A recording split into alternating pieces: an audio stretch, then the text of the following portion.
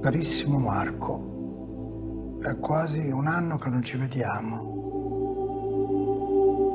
Camillo era un ragazzaccio simpatico e con molta voglia di divertirsi e quando finalmente si è, come avrebbe detto la mamma, sistemato, e lì c'è un mistero, caro.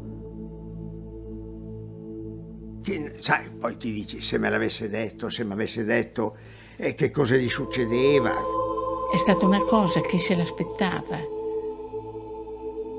E chi se l'aspettava non... C'è una lettera di Camillo di, di, di, di... Ma scusa, questa lettera a me? A te? E tu gli hai risposto?